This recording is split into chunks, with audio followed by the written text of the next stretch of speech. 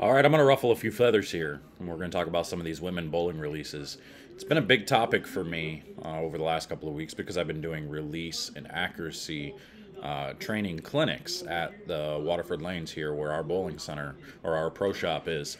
Um, and this was one of the things we actually used as an example as to teaching why uh, you may not have a powerful release or a higher rev rate. Uh, a lot of the women are a prime example as to what it is. So uh, I'm going to go through this with you. We're going to talk about what a lot of women or weaker hand, lower rev rate type people actually do. And this isn't anything against women. I think they were just taught wrong. And a lot of women have this mentality of, I'm just not strong enough really this is technique. It does take a little bit of strength, but not a lot. Really doesn't, because there's some really small people, some smaller women have you know pretty good rev rates and whatnot. And we're going to talk about all this stuff here in a minute. Stay tuned.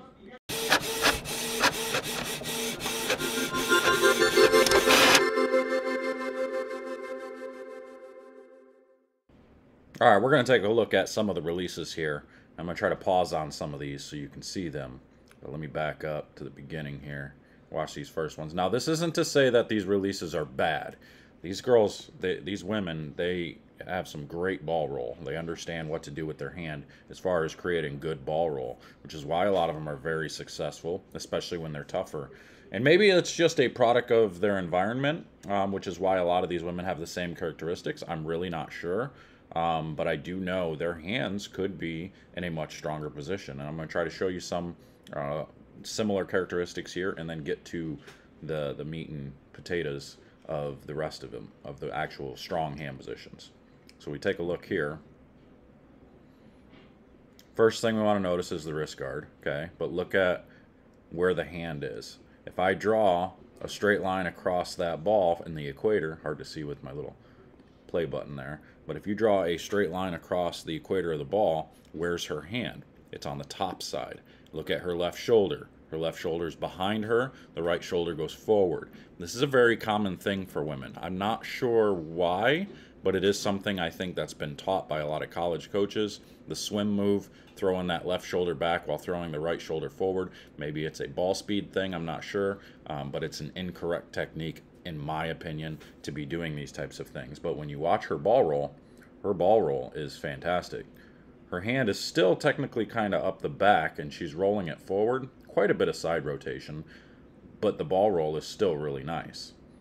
But the unfortunate thing is, is because of where her hand is at the top of the ball, it's not going to read soon enough, and you're not going to get that ball to um, read the middle of the lane when you go left. So this is why they get trapped playing the right part of the lane. Now this one was a little bit better. Let me back that up there. This one is a little bit better. You can see she's a little bit lower on the ball, still on the top side. And again, shoulder left shoulder's back while the right shoulder's going forward, which is what makes you have no choice but for your fingers to go to the top side of the ball. When your shoulder goes forward, it makes it very difficult to stay underneath the ball. So this is where a lot of the side rotation comes from. Her thumb, you can see, is already pretty much cleared. She's just got the tip of her thumb in.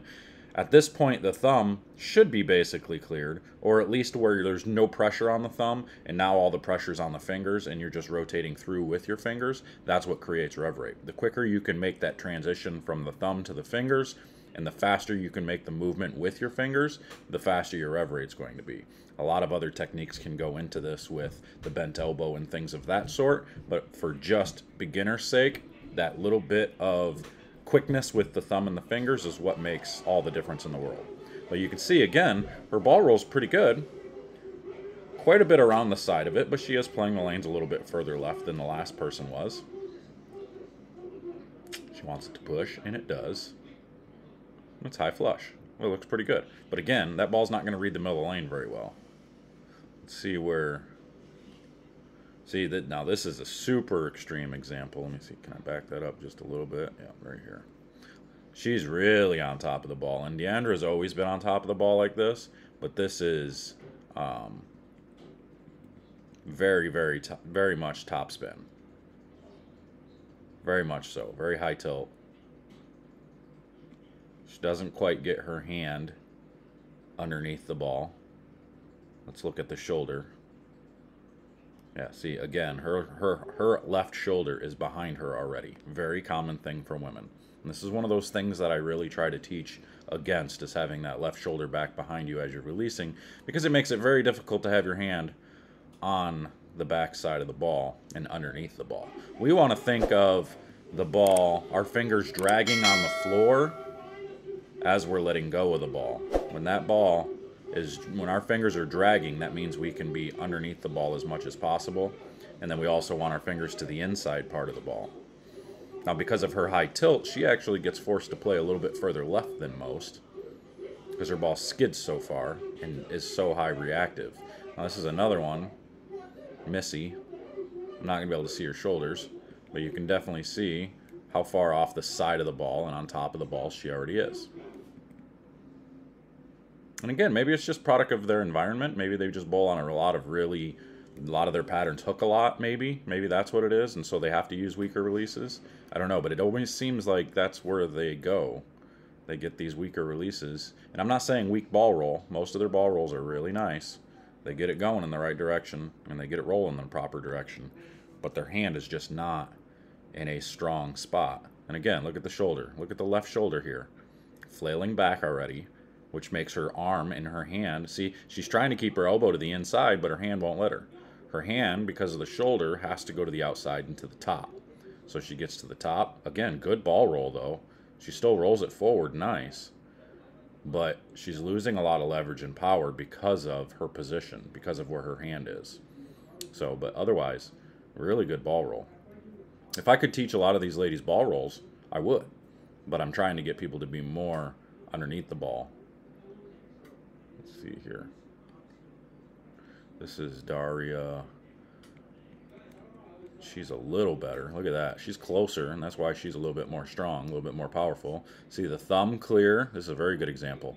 Thumb clears, fingers roll through the side. That's why she has a little bit higher rev rate than a lot of the girls on tour. And look at where her fingers are. She's a lot closer to the equator. Again, still on top, but a lot closer to the equator. So she's more powerful than most of the girls that are bowling out there, which is why she's winning a lot more, in my opinion.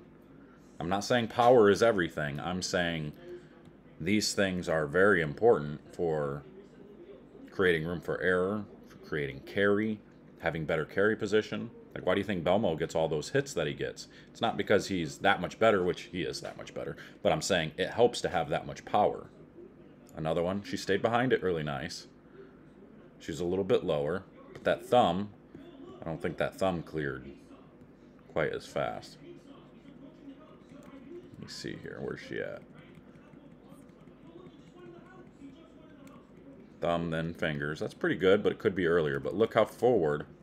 See how far ahead of her foot that ball is by the time her thumb's actually cleared? That needs to be behind her a little bit more. Then she can really create some leverage and power. Again, look at that left shoulder. Left shoulder's back so it forces her hand to go forward. Just keep this in mind. I know. I'll give a couple more examples here, and then we'll be good. Shannon, a left side, left side view. She stays behind it really good because of, you know, being left-handed. She kind of has no choice, for the most part. But again, she's still at the top side of the ball. Left shoulder back or right shoulder back causes a few issues, but she's and she hasn't done very well lately for some reason. Maybe left side's not been great for her. I don't know. Who we got here? Jackie Carbonetto. We can't really see that one too well. But again, looks like her hands to the top side. Thumb is clearing, then the fingers. That's the whole purpose. Thumb, then fingers. If those fingers are below further instead of on the top, how much pressure can you put there and actually roll that forward with your fingers only in the ball till there. If your fingers were behind it more, underneath it more, you can create a lot more power, a lot more leverage, and, and forward roll. Still good ball roll, though. Kelly Kulik, generally, yep, she's one that does it more proper. Oh, my chicken's done. She does it more proper. See how close she is to the equator? She's almost right on the equator. Hands to the behind the ball. And that's why she's always been much better at playing the inside part of the lane than a lot of the ladies. So she does it really well. So, with that being said, let me get this opened up here, you can see what these ladies do compared to what we want to do. Now, if I were to go back, let me actually, I'll pull something up and see if I can't pull up some men, and we'll take a look at them as well. All right, here we go. So now we got some men, starting with Belmo, of course, the most powerful. When you watch, you see how far underneath the ball his fingers are. Now it's a little bit easier not having a thumb in there, of course, but it's still a prime example of what to do with your fingers. Unless you're two-handed, you're not going to get your hand really that far under the ball. Pretty difficult to do, but that's where his advantage comes in. He's able to really create a lot of leverage and a lot, a lot of power with that type of release. You got Tommy Jones. This is another pretty good example here. Move this out of the way. You can see his fingers below the equator. And then as we move forward, he rolls right through the back. Fingers released. He's another, he, he's, he actually gets his shoulder back before the release too, but he's apparently just super strong and can get, uh, get the ball to do the right thing, get his fingers in the right spot anyway. Who we got here? Dick Allen. Another one. He's right at the equator. Well, a little bit below the equator there as he rotates through. Thumb, then fingers. Not bad. But he's at a he's he's one of the you know mid range to lower rev rate guys on tour at, in this day and age. And then as we move forward, who we got here? Ciminelli. This is a good example for the left side. You can see how far underneath the equator his hand is rolling right through that back of the ball. A little bit of side rotation. He's actually curving it for a lefty right now, playing, you know, 23 at the arrows for a left-hander. That's pretty incredible. This is one of the best in the game, as far as I'm concerned, is with his, where his hand goes. You see how far inside his fingers get, and then how behind and underneath the ball he is, and then he just snaps it off and rolls his fingers through. You can see the quickness of the thumb to the fingers. Goes up a little bit with it, but that's okay. That's still a really good example of what we're looking for. Sanders, uh, he's a little too high on the ball, but again, he's he's a twirly type lefty.